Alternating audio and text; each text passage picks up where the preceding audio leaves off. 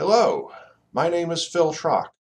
I'm the ultrasonic testing level 3 here at Laboratory Testing. We often get asked, how small a defect can you find? And that's a good question about laboratory testing's capabilities. But our capabilities aren't really what you're interested in.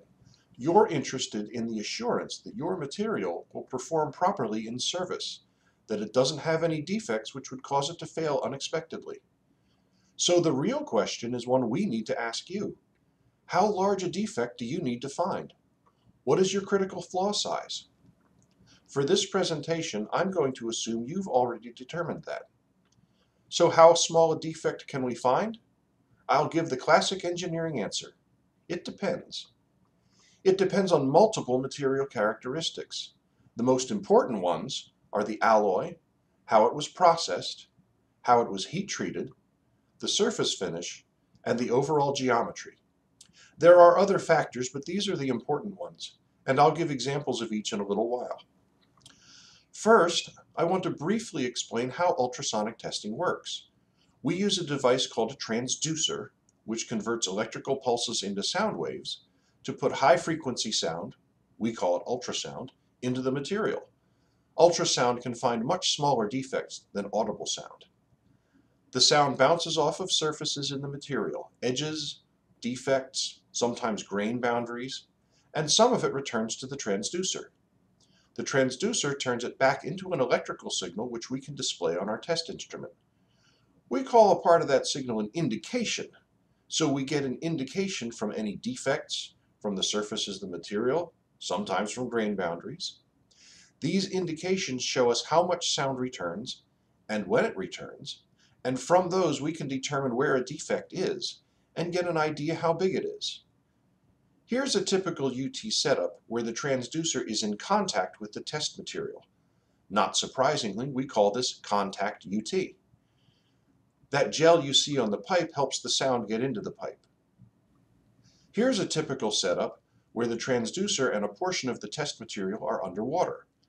The water helps the sound get into the material just like before, but with this system, we can use multiple transducers, test a lot faster, and find smaller defects.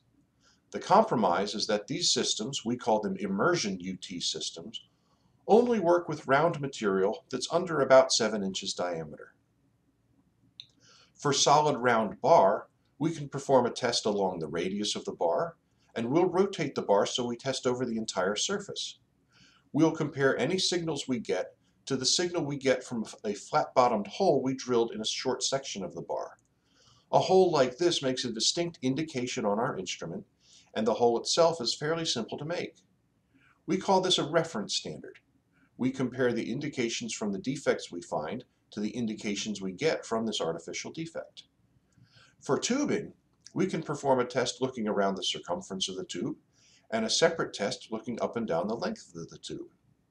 We do this by making the sound enter the material at an angle. Our reference standard for this test will be a set of notches on the inside and outside surfaces. These notches are typically made using electrical discharge machining. As before, we compare the indications from the notches to the indications in the test material. Let's look at alloys for a moment. Carbon steel and aluminum are generally very easy materials to UT. Metallurgically, there's not much going on with them no strange grain structures, no odd precipitates, so sound travels through these materials without too much trouble. By contrast, 6,4 titanium has multiple grain structures which are affected by all kinds of processing parameters. This complicated structure tends to absorb and disperse sound, so we need to put more sound into the material and amplify the return sound more in order to get usable signals. This means our signal is much noisier and more difficult to read. How the material is processed can make a huge difference. Castings are generally more difficult to UT than forgings, in large part because of the varying grain structures in castings. Even the forging process can make a big difference. For tubing, processing problems like scratches and seams can generate lots of apparent noise and indications that aren't really defects. Wall thickness variations can also make testing more difficult. I'll talk more about that when we get to material geometry. The surface roughness can have some effect on how much sound can get into the material. In general, a rougher surface lets less sound in. so we like the material to be as smooth as reasonable. 250 RA is a typical maximum permissible roughness. That's somewhere between fine and medium sandpaper. And it's important that the reference standard we use be no smoother than that. Geometry can have the largest effect on how UT can be performed. Thicker material requires more sound energy, which usually means more noise. On very thin material, it can be difficult to distinguish a defect from the reflection from the back of the material. For tubular products, an extremely high OD to ID ratio can make for a challenging test, as we need to be more clever about aiming the sound in the necessary direction to detect defects on the ID surface. Angles and holes and keyways and other machined features can make UT difficult if not impossible. The test system doesn't know the difference between a machined slot that's supposed to be there and a crack that isn't. Bent tubing can be a big challenge, and the bend doesn't need to be very severe to be a problem. When bent material runs through our immersion systems, it can knock the transducers out of position, it can cause the sound beam to enter at a different angle, and it really slows testing down even if these other effects don't happen. This is one of the most common material problems we see. Changes in wall thickness, especially when they're significant changes, can cause real trouble. In most cases, the thickness change will run in a spiral path around the tubing. The internal contour caused by this can make testing for wall thickness and for defects much more difficult. In some cases, we can't perform the testing at all. Let's look at a few typical test situations where these elements are important, starting with the easiest. A simple test on steel plate.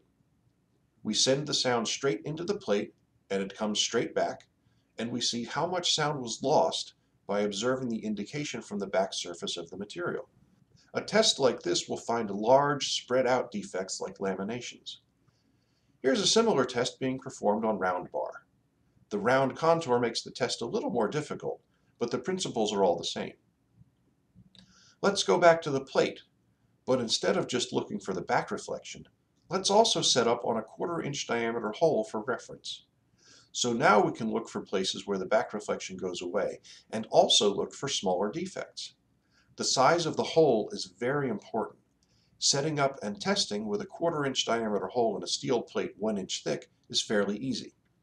Setting up on a 3 64ths inch hole on a 4 inch thick plate is much more difficult. The smaller the hole required, the more difficult the testing becomes. We can do a similar test on round bar with similar characteristics. A smaller hole is more difficult to find. We can also have the sound enter the material at an angle. This is better for finding crack-like defects. The notch can be a variety of depths, depending on the governing specifications. Naturally, a shallower notch means a more restrictive test. A test on pipe and tubing will look somewhat similar to an angle beam test on plate, with similar challenges with similar notches. One important advantage to immersion testing of tubing is that we can test in multiple directions at the same time. We have the capability to detect some very small notches in tubing. One specification uses notches which are 3 thousandths of an inch deep and an eighth of an inch long. Another uses a notch 2 thousandths of an inch deep and a sixteenth of an inch long. The smallest we regularly find is 2 thousandths of an inch deep and 30 thousandths of an inch long for a very specialized application. So when you're reading your testing specifications in general, any flat bottom hole 3 64ths inch or smaller will be tricky to find. Any notch less than 4 thousandths of an inch deep, or about 3% of the material thickness, will be tricky to find. Tricky, not necessarily impossible. That depends on all those other factors. One final point. Good material with good workmanship is usually fairly easy to test. And when that happens, everyone does well. Laboratory testing is always happy to discuss your testing needs. For your ultrasonic questions, please call or email me, and I'll be glad to answer your questions. Thanks for watching.